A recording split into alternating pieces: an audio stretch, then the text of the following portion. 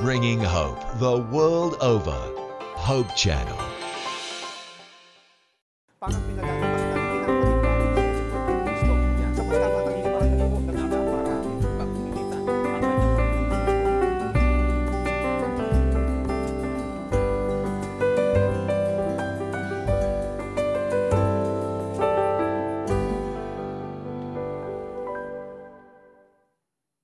Muli po nating binabati ang lahat ng ating mga suking taga-subaybay. Ito po muli inyong kaibigan, Brother Johnson Amican. At ito po si Brother Ronald Obidos. Minsan pa ay kayo aming inanyahan na samahan niyo po kami sa loob ng 30 minuto sa pagsagot sa isa na namang katanungan, Brother Ronald. At ito po ay may kinalaman sa kalagayan ng tao pagka siya ay namamatay. Ito isang ah, tanong na ating pong natatanggap sapagkat sa ating kapanahonan may iba-ibang pananaw tungkol dito, Brother Ronald. Meron dun sa tinatawag na paniniwala, dun sa ang patay ay bumabalik at may tinatawag pa silang multo, Brother Ronald. Ngayon, sasangkunin muli natin at ah, mula sa mga talata ng banal na kasulatan ay ah, sasagutin natin ang katanungang ito. Saan nga ba ang ah, napupunta ang tao kapag ka siya ay namamatay, Brother Ronald? Ah, ito po ay ah, sasagutin sa atin ng banal na kasulatan at ah, maliwanag naman po ang sagot ng Biblia. Ah, pero bago po natin buklatin ang sinasabi ng banal na kasulatan, nais nating iparating sa ating mga taga-subaybay na ito po ay isa sa mga napakahalaga at masela na paksa at isa sa mga topic na mahirap pong hanapan ng sagot labas sa Biblia sapagkat pagka ang kukunin natin ay opinyon ng mga tao ay siguradong merong iba't ibang ah, mga pananaw. Meron nagsasabi na ang tao kapag ka namatay ay hindi totoong namamatay, kundi ang kamatayan daw po ay isa lamang pintuan sa kabilang buhay. Meron naman nagsasabi na hindi natin nalalaman ang kalagayan ng anumang patay hanggat ito ay ating maranasan. At ah, ito nga po ay napakahalaga na ating ah, talakayin sapagkat lahat ng tao ay haharap dito. Opo. At ah, importante na ngayon pa lang, bago mapanampaman tayo umabot sa kalagayan yon, ay malaman na natin kung ano ang sinasabi ng Biblia. Kaya po, ano po ba ang sinasabi na kalagayan ng tao kapag siya'y namamatay? Siguro maganda ay magsimula tayo sa beginning, Kung yung paano tinatawag na nilikha- origin Paano nilikha ang tao? kung paano nilikha ang tao at paano at kailan pumasok ang kamatayan. Yan. Yan ay importante na atin pong ipabasa at yan ay mababasa natin kung dito sa Genesis chapter 2 verse 7. Ito ang nakalagay sa Kapitulo 2 at ang talata ay city ng aklat ng Genesis. Ito ay ah, pagbabalik dito, Brother Ronald, kung paano likha ng Diyos ang tao. Ito ang nakalagay dito sa talata sa saling ang Biblia. At nilalang ng Panginoong Diyos ang tao sa alabok ng lupa at hiningahan ang kanyang mga butas ng ilong ng hininga ng buhay. At ang tao ay naging kaluluwang may buhay. Ito po ay ah, pahayag ng kasulatan. No? Sinasabi rito na ang tao ay naging kaluluwang May may buhay. Hindi po sinabi ng talata sa Biblia na ang tao ay nagkaroon Nang, ng kaluluwang buhay. yan. Kundi ang sa pagkakasabi, ang tao ay naging. The man became a living soul. Yan. At ah, ito po ay resulta, yung pagiging living soul ng tao, ay resulta po ito, Brother Johnson at mga taga-subaybay, ng pagsasama ng alabok sa lupa at yung hininga ng Diyos sa ilong nung kanyang unang nilikhang tao si Adan. Yun ang sangkap ng tao, ng katawan ng tao. Yan sangkap ng tao, alabok plus hininga ng buhay na nanggagaling sa langit. At ah, at is- isa diyan, ang, ang isa diyan ang alisin mo, walang magiging resultang kaluluwang buhay. Wala po. Kaya ibig sabihin, after po na ang tao ay likhain mula sa alabok at hingihan ng Diyos itong ginawa niya at inanyuan sa putik na si Adan at hiningahan niya, tsaka nagkaroon ng kaluluwang buhay. Sa madaling salita, yun po pala mismo mga kapatid, ayon mismo sa banal na kasulatan, ang tinatawag na kaluluwa ay yung mismong tao na mayroong hininga ng Diyos na buhay. Resulta ito ng pinagsama nga natin. Sabi natin kayo na, resulta ito ng ah, alabok at ng hininga galing sa Diyos. Naging. Pagka i- ibabalik natin, paatras, Brother Ronald. Ano po? Ah, paghihiwalayin natin itong ah, dalawang ito, mawawalay din yung tinatawag nating kaluluwang Mawawala may buhay. talaga yun. Hindi na magiging kaluluwang may buhay pag inalis mo yung hininga at mamamatay, magiging corpse na yun o magiging bangkay. Kaya nung matapos po na magkasala ang unang mga magulang natin, no, si Adan, eh, ito po ang nangyari at sabi ng Diyos sa 3.19, pakibasa po natin ang 3.19 ng Genesis. Ito ang nakalagay sa talatang 19, Kapitulo 3. Sa pawis na iyong mukha ay kakain ka ng tinapay hanggang sa ikaw ay mauwi sa lupa, sapagkat diyan ka kinuha, sapagkat ikaw ay alabok, at sa alabok ka uuwi. Sa makatwid, pagka ang tao daw ay mamamatay, ang mangyayari po, ang proseso na sinasabi sa atin ng Biblia, ang tao ay babalik sa lupa Nya. at ang dahilan po ay sapagkat diyan sa labok kinuha Hmm, doon ang din tao. uuwi. So doon din uuwi. So wala po ditong pahiwatig na ano po ang mangyayari sa tinatawag na yung tinatawag nila espiritu o kaluluwa. Sa ibang bahagi po ng kasulatan ay meron pong sinasabi na ganito sa Ecclesiastes uh, 12:7. Yan, maganda yung talatang yan, Brother Ronan. At ah, Kapitulo ah, 12, Brother Ronan, ano po? Ah, ng iklat ng Ecclesiastes. Ito ang nakalagay. Yan. 12 at ang talata ay 7. At ang alabok ay mauuwi sa lupa, gaya ng una. At ang diwa ay mababalik sa Diyos na nagbigay sa Kanya. Napakaliwanag, ano? At dito sa ang bagong ang Biblia, Brother Johnson, para sa ating mga tagapakinig, ganito po ang nakasalin. At ang alabok ay bumalik sa lupa na gaya ng una, at ang espiritu ay bumalik sa Diyos na nagbigay nito.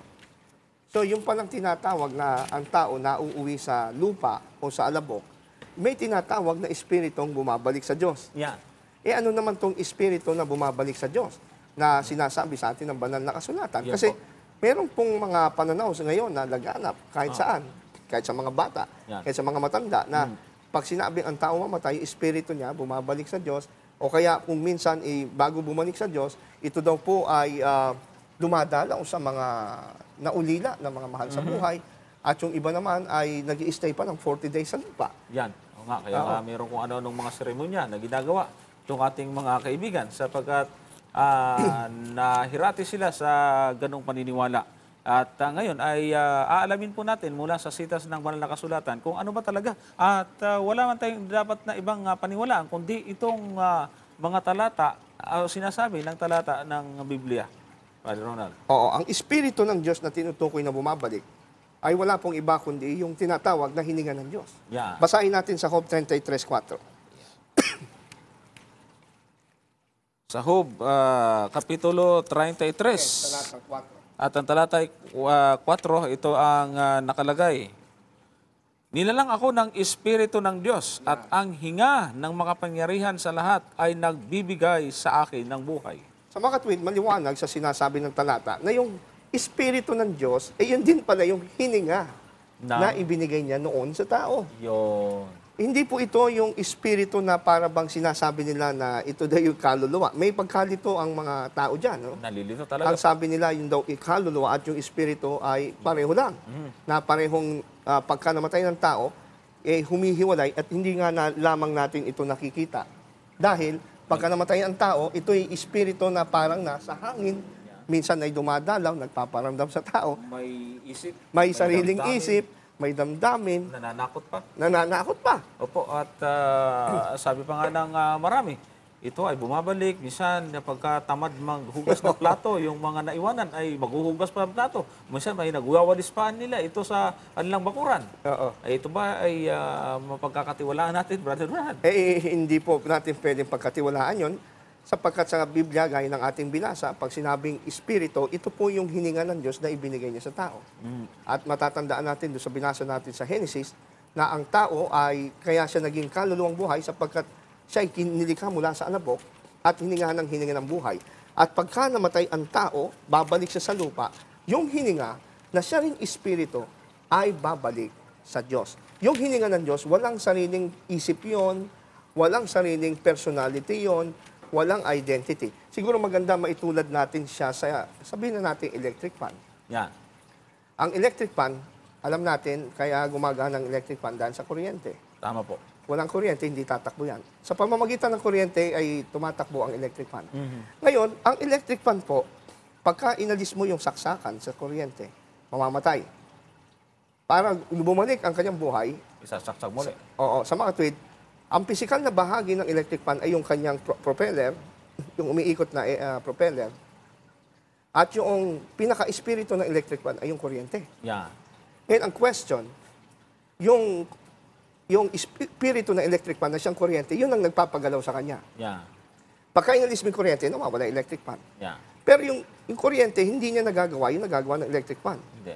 Hindi nagbibigay ng hangin na nakakapresko ang kuryente. Electric fan siya, pero wala na siyang nagagawa. Mm-mm. Wala siyang Sa ganun kakayanan. din paraan, yung espiritu ng tao, wala siyang sariling isip. Yan. Wala siyang sariling gawa. Wala siyang sariling consciousness. Yan. Pag namatay ang tao, bumabalik lang siya sa Diyos kasi yun yung hininga ng Diyos. At wala siyang malay. Wala siyang malay. Tama yung uh, binabanggit dito sa aklat ng Ecclesiastes, Brother uh, Ronald, sa uh, gano'n ding kapitulo, uh, 9, at ang talata nito ay uh, 5 hanggang 6. Magandang basahin Ayan, natin oo. ito. Ito po ang uh, nakalagay sa talata dito sa uh, saling ang Biblia. Oo. Sa talatang 5, sapagkat nalalaman ng mga buhay na sila'y mga mamatay, ngunit hindi nalalaman ng patay ang anumang bagay, ni mayroon pa man silang kagantihan, sapagkat ang alaala sa kanila ay nakalimutan, maging ang kanilang pag-ibig, gaya ng kanilang pagtatanim at ng kanilang pananaghili, ay nawala ngayon.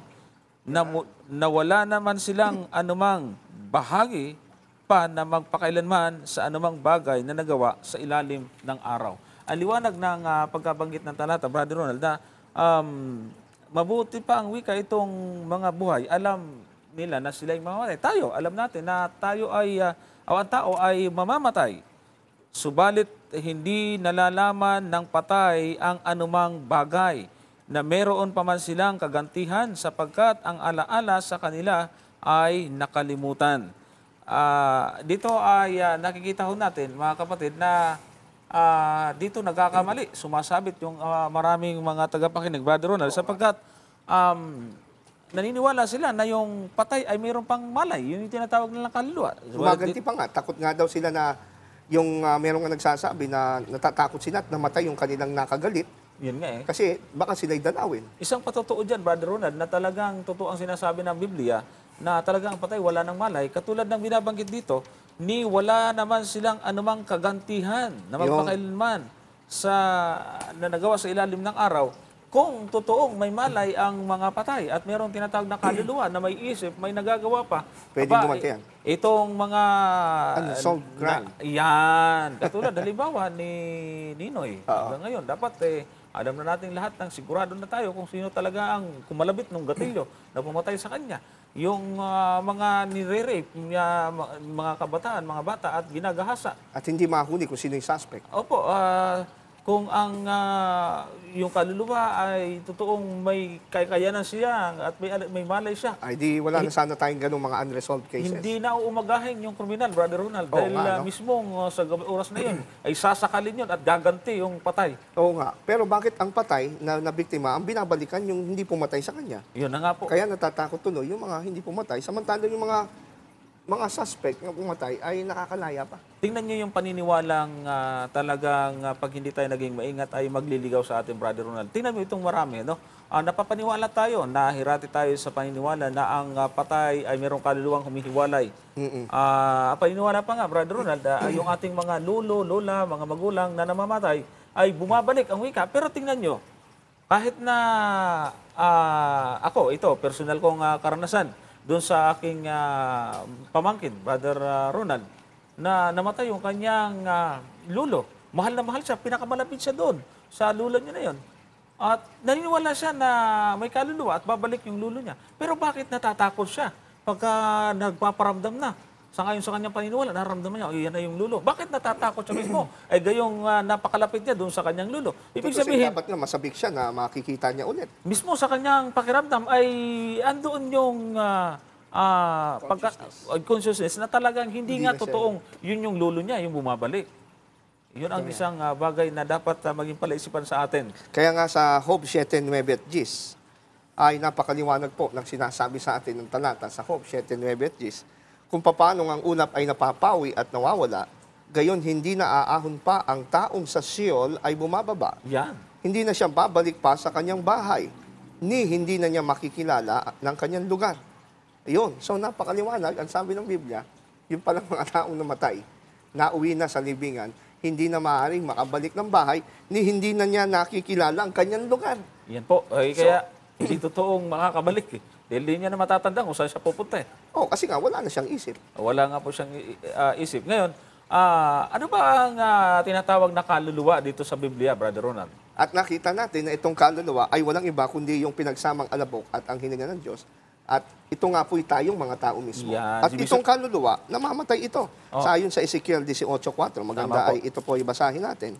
Ito po'y taliwas doon sa paniniwala o yung termino na ginagamit na ah, immortality of the soul. Mm. Na immortal, na pag sinabi immortality of the soul, hindi namamatay na kaluluwa. Naunawaan natin sa Biblia na pag sinabing kaluluwa, ito mismo tayo mga tao. Eh tayo mga tao namamatay. Yan. At yung salitang immortal, hindi namamatay. So, ibig sabihin, hindi namamatay na tao.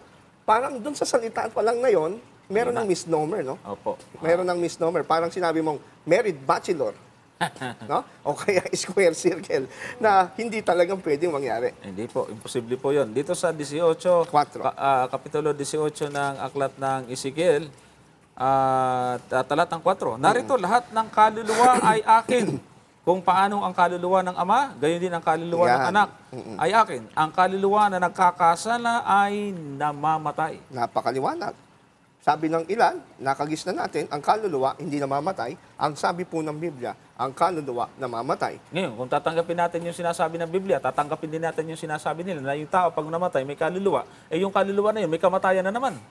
Oo nga. Maka- mag- mukhang ah, mapupunta tayo sa malasalimuot na paniniwala, mga kapatid at mga Oo, kaibigan. magiging chain reaction. Ah. So, para po hindi tayo maligaw, ay siguro maganda i-trace natin saan po nanggaling yung doktrina na ang kaluluwa o ang tao ay hindi namamatay. Mahalagang malaman natin yan kung sino may kagagawa nito, Brother Ronald, sapagkat ito ay hindi nga biblical. Oo. Kung titignan po natin nung sa Genesis, nung tuksohin ng Diablo, Opo. si Eva, Yan. na ang sabi ay, sabi ng Diyos nung una actually, sa 2.17 ng Genesis, ay maganda siguro, maganda, Brother Johnson, basahin natin to. Paglingkod Sa natin to. 2.17 ng Genesis. Yan. Ito ang ah, nakalagay sa talatang... ah, 2.17. ito po ang nakalagay sa 2.17, no? Datapat sa kahoy ng pagkakilala ng mabuti at masama ay huwag kang kakain. Sapagkat sa araw na ikaw ay kumain niyaon, walang pagsalang mamamatay ka. Yan ang sabi ng Diyos. Tiyak yun. Na para sa Diyos, siya pagkat siya ang Diyos ng katotohanan, Opo. pag sinabi niya na ang tao ay mamamatay, Aha. mamamatay talaga yun, malalagutan ng hininga. Oho. No? Walang ah, pagdududa doon.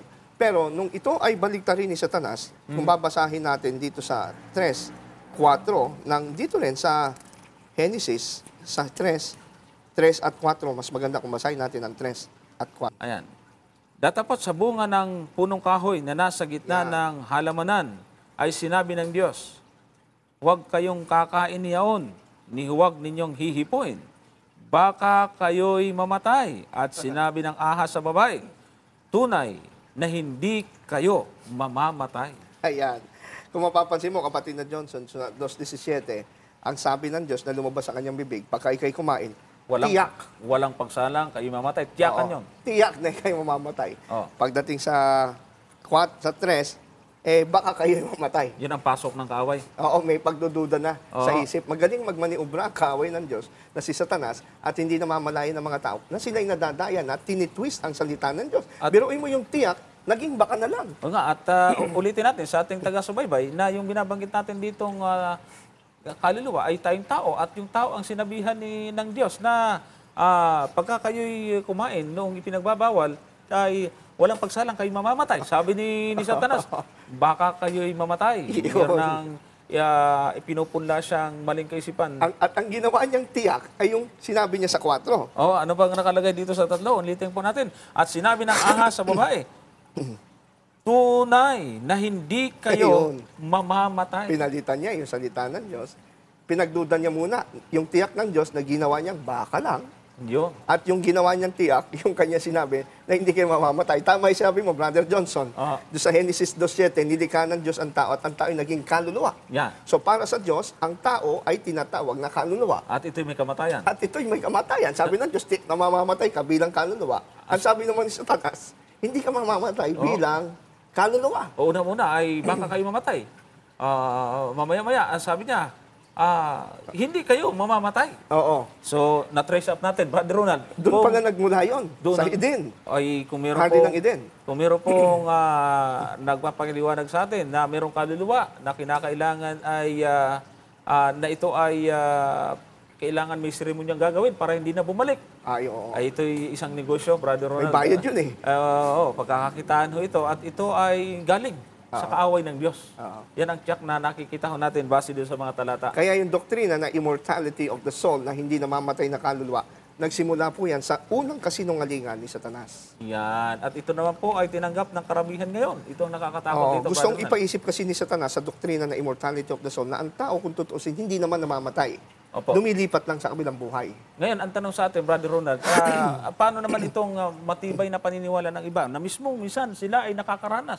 Na, Yan. ah, ah, mismo sila ay naramdaman, nakausap at nakita mismo mukhaan yung ah, kanilang mahal sa buhay na bumalik at nagsalita pa sa kanila. May pinagbibilan pa nga ang wika pa nila eh. Oo nga. Oo. Ah, ako merong kaibigan sa probinsya, Brother Ronald, na ah, yung kanyang, nung dumating sa kanyang balita, Mm-mm. na ang kanyang tiyuhin ay ah, namatay na noong ah, mga alas 8 ng gabi. At uh, pag uwi niya sa kanilang bahay, mga alas 10 ay nakita niya yung kanyang tiyuhin ay nandun sa kanilang tahanan. Ay palibasa itong kapatid na ito ay ah, ah, Adventist at nananawalan sa Biblia ay ah, sumigaw lamang siya at sinabihan niya, lumayo ka satanas. Biglang nawala yung yung ah, Nagpakita na ang yun ang kanyang kapatid. Ah, paano naman itong mga naniniwala sa ganun na pinagpapakitaan, hindi lalong nagiging matibay sa kanila sa ganun kung naniniwala. Hindi ka magbabasa ng Biblia, mapapaniwala ka na parang iyon ay totoo. Pero kung babasahin natin ang nasa ikalawang Korinto 11.14, Ayan. ay sinasabi po sa atin na hindi po dapat tayo magtaka kung yun ay mangyari. Ano ho? Ang sabi po sa 11.14 ng ikalawang Korinto, Ayan. sa pag- ah, at hindi nakapagtataka sapagkat maging si Satanas man ay nagpapanggap na anghel ng diwanag. Yung, Eh kung yung mga anghel kaya niyang gayahin, eh tayo pa kaya? ilalo pa yung kalukuluan ng tao, yung boses ng, ah, ng ah, ating mahal sa buhay, ang hindi niya kayang tularan. Oo, kaya-kaya niyang tularan niya kasi he is a great deceiver. At saka para lalo tayong maniwala at tumibay pa paniniwala natin na mayroon na talagang kaluluwa na ito naman ay galing din sa kanya. Kaya siya rin yung gagawa ng paraan para mapagtibay ang ganong maling paniniwala ng At tao. pagka ikaw ay naniwala sa doktrina na ang kaluluwa ay hindi namamatay, ay nadaya ka na ni Satanas at sinasabi mong ang Diyos ay sinungaling. Tiyakan. Sapagkat sinasabi ng, pana- ng Panginoon na ang tao ay tiyak na mamamatay. At kung ikay maniwala na ang tao pala ay hindi tiyak na mamamatay, siya'y namamatay lang sa lupa, pero buhay sa langit, eh nadaya ka ng Diablo. At ang Diablo ngayon parang sinabi sa iyo, o kita mo na, sinungaling ang Diyos. Ang sabi niya, mamamatay. Hindi naman pala.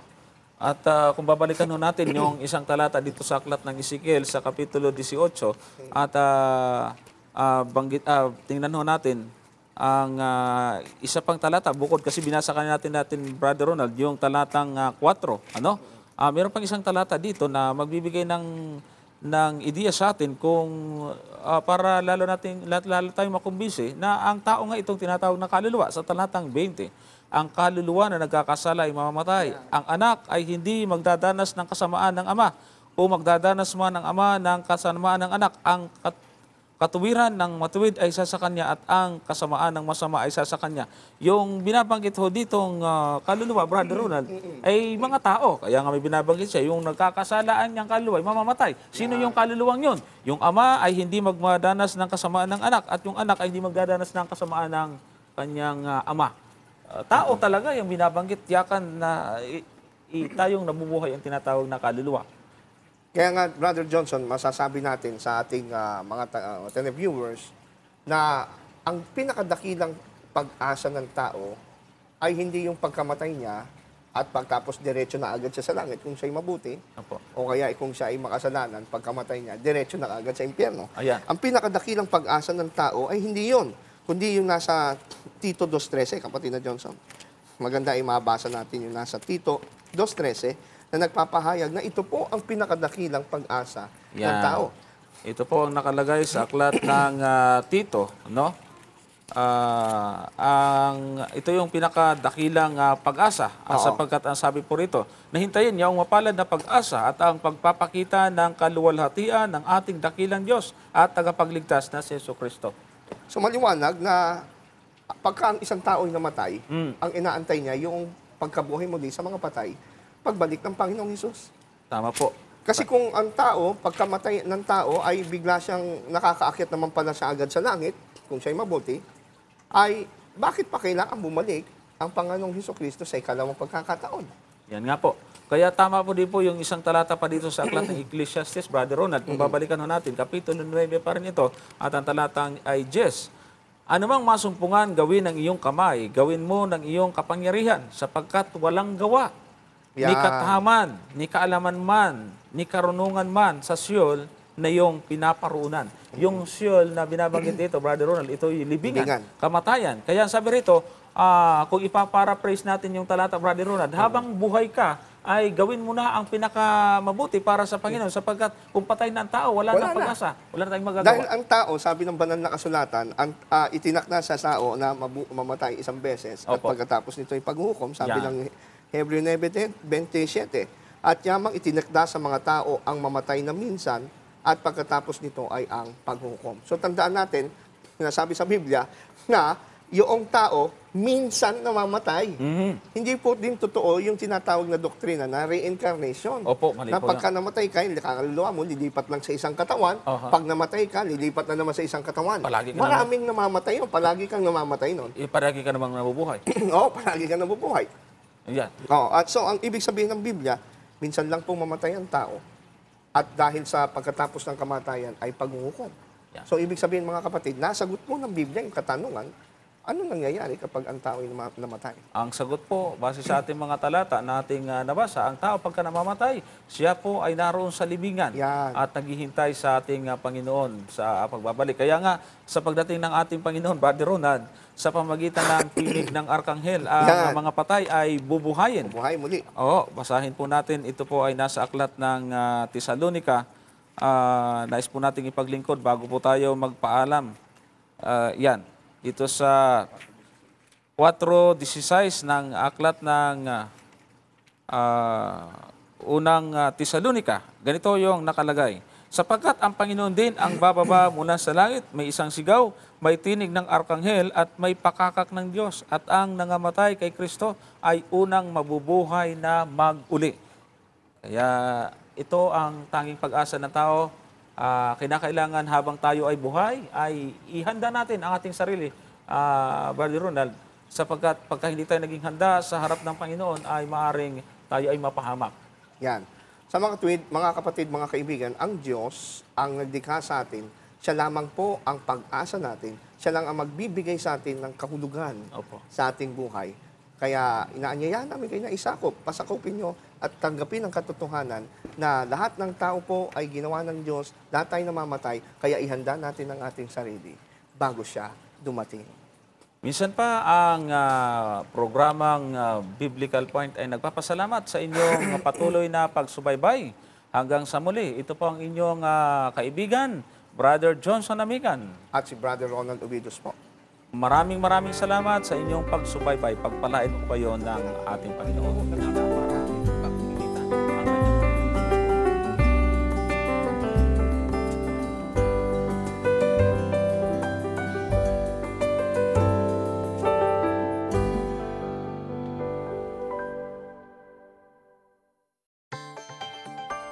Hope the world over.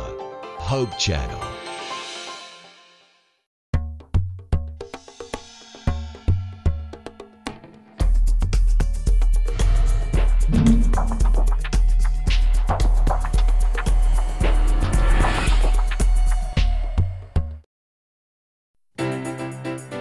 From the 7,107 islands of the Philippines comes our sun-kissed warm congratulations to Hope Channel's newest milestone.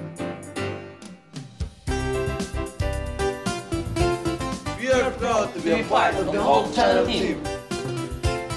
This is the Lord's work. He will carry us through. And Team Philippines is with you all the way.